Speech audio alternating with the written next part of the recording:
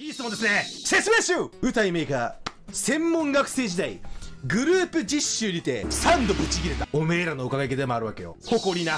よせい。なんか泣きそう。置いたやつ死ね死ね死ねーって思いながら。えー、アーカイブを見てくれたお前らいつもとの基本的情報は？今日はおやつサイダー。じゃあけことだよ。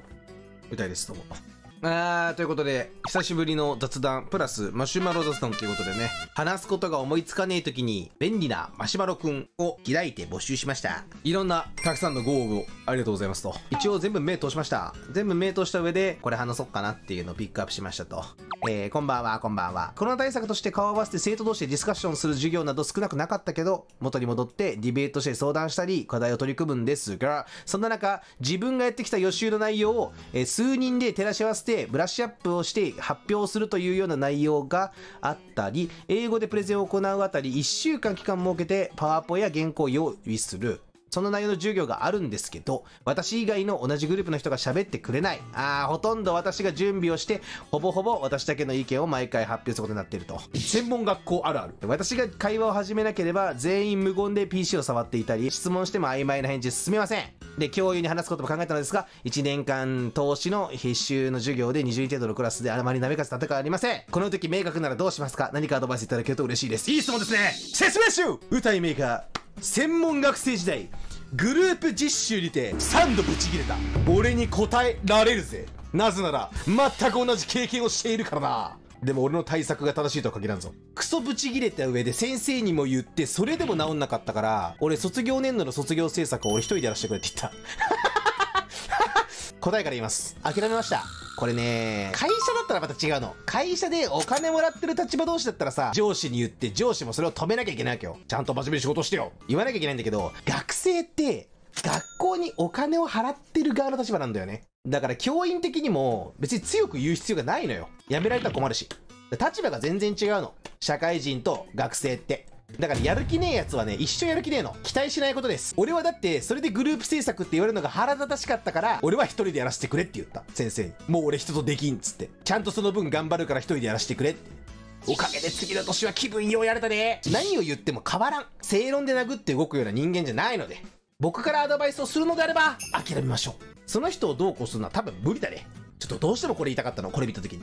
うわ俺も同じ経験したわわかるわかるっつって。回答になってるかわから。俺はそうした。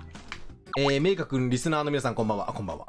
えいつも楽しい配信ありがとうございます。ありがとうございます。私は子供の推しから、えメイカに出会ったアラフィフどころか完全にフィフをオーバーしているリスナーです。あまりの年寄りぶりに恥ずかしくてコメントできませんが、ほぼ毎日欠かさず見させていただいております。ありがとうございます。ありがとうございます。長くなりましたが、メイカ君のさらなるご活躍と、え配信でのメイカ君面白くて優しいリスナーの皆様とやりとりを楽しみにこれからも追い続けます。いつも本当にありがとうと。お前ら誇りに思うといい。こんな文章をもらって俺たちは恵まれてるぞおめえらのおかげでもあるわけよ。誇りな。よせい。なんか泣きそう。お前らがいつもいいコメントしてるから、いい放送になってんだよ。へへへ。へへへ、よせい。なんか、俺もなんかこう、うわーってよう騒いとるけどさ、目上の人からしたらうるさいなって思われるんかなと思いきや、まあこういう意見ももらえて嬉しいですね。あなた様の人生が豊かにできているのならもう光栄でございます。僕もそれで飯食ってますんで、もうね。これからも頑張ります。よろしくお願いします。私、歌いメーカーを知った時、えー当時小学生だったんですけど、今最近高校生になりました。まあでもそうか。活動して俺今6年目だけど、うわ、うわえぐないこれ。小学生入学したての子が中学生になってんだよ。やばくない？何してた？やめろやめろ傷つく人が多い。やめろ。その刀はしまえ。いや兄貴お元気にしてられるでしょうか？元気です。どうも。交番に届け物を押したこととかありますか？ついさっきのことなんですが、駅で財布を拾い交番に行ってきました。えらいちなみに自分も昔カバンごと落としたことがあります。えー帰宅後カバンがないのに気づいて、帰宅路を探し続け、泣く泣く交番にいたところ、運よく届けられてました。よかったね。しかしその時のカバンが、書類やレシートやらがパンパンに入っていた仕事カバン。カバンを返してもらうだけに1時間 弱を要したのも覚えています。そして最後におまわりさんから一言、普段からカバンの整理はしてくださいと。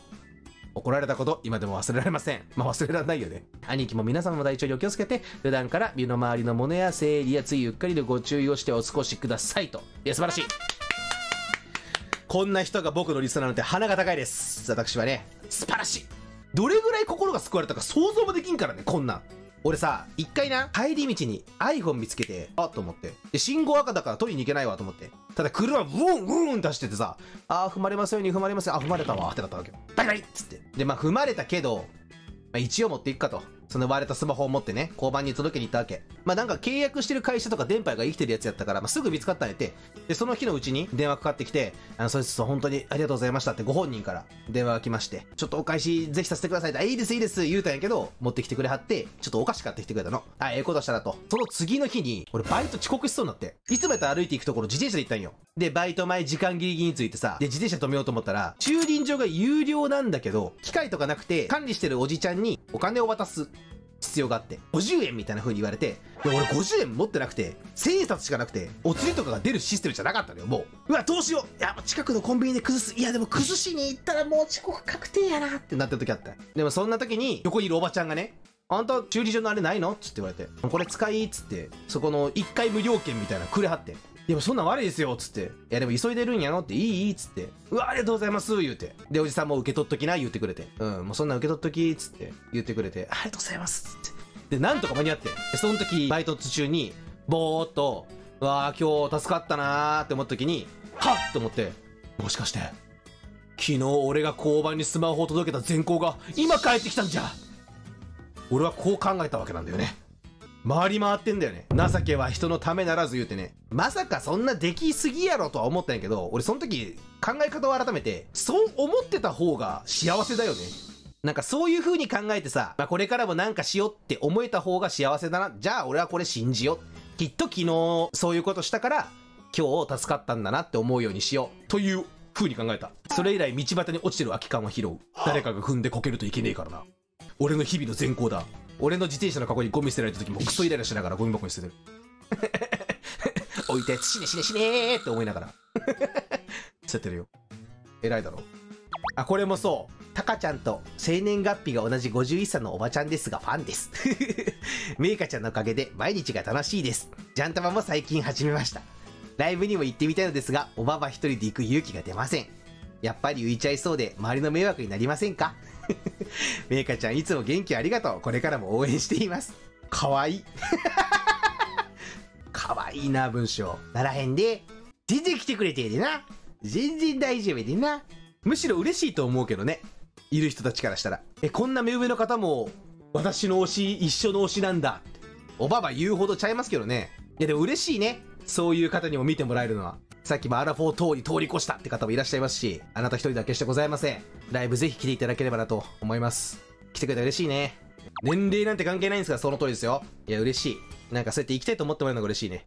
メタイメーカさん、はじめまして、はじめまして。いつも兄貴のかっこいい姿に憧れ尊敬し、どんな時も楽しく、笑う姿に元気をいただいている個人で活動している VTuber です。おー、嬉しいね。ぜひ、憧れのメーカーさんに VTuber 配信者としての心構えを抱えたくてマロを送ります。私自身もゲームがよく好きでゲーム配信をしているのですが、集中しすぎるがあまり、リスナーさんに楽しいを届けられているのか不安になっています。特にゲームでなかなか勝てない時など、詰まった状態だった時は特にです。プロームさんのソウルシリーズとか。これ書いてくるとイメージしやすいよね。この時、メーカさんならどう考えて発言し、リスナーさんに楽しいをお届けするのか、自分ならこうするで、こうした方がええんちゃうか、などございましたらお聞かせいただきたいなと思います。ちょっと理想の答えがわからないんですが、結論から言うと、僕はやらないようにしています。え？え？メイカさん？僕は、あの、ストーリーとかに没頭しすぎて喋れなくなるゲームはあまりやらないようにしています。無理です。ちょっと、先輩として鮮やかな回答をできなくて大変申し訳ないんですけれども。なんだろうな、相性ってあると思うのよ。なんか安心すんだよね。やっぱそういうリアクションができるゲームだと、みんなに俺を届けられてるなっていう気持ちになって安心できるのよ、俺は。例えば、担当直入で言います。ティアキンむずいです。あのゲームむずすぎます、配信。本当に難しい。あのゲームで面白く配信できる人本当にすごいと思う。やってる側がおもろいだけになっちゃうなって感じる瞬間ある。なんか、それを見たいって人もいるじゃん。匿名 VTuber 君が気にしてるほど深刻に考える必要はないんだけど、でも実際やっぱ同じ悩みも俺も持ってて、長編でできちゃうもの俺、後半喋んなくなっちゃうのよ。短時間4時間経ってくると、やりたいことも、出てくるわけよ。で、やりたいことがちょっと作業っぽいよな。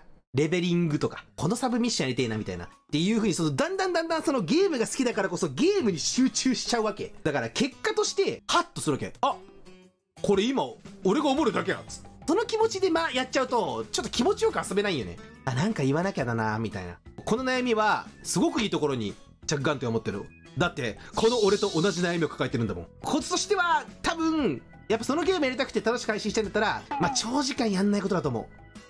俺は3時間4時間でスタミナ切れちゃうね。楽しく配信しようっていうボルテージがだんだん落ち着いてきてゲームやるモードになっちゃうから。逆にそういうゲームばっか好きなんだったらそれも良さだよね。で俺はちょっとあんまり長くやらないことぐらいしか見つけられないってない。まあ、元気にリアクションしようみたいな。ちゃんと驚いた時は驚いたって気持ちをみんなに伝えようってなる。それぐらいなんだよね。だから難しいんだ。悪いな。こんな先輩で。でやりたいゲームならやればいい。だ自分に合うゲームを探すのも道だよ。以上。最後までご視聴いただきありがとうございました。この動画が面白いと思ったらチャンネル登録高評価よろしくお願いします。コメントも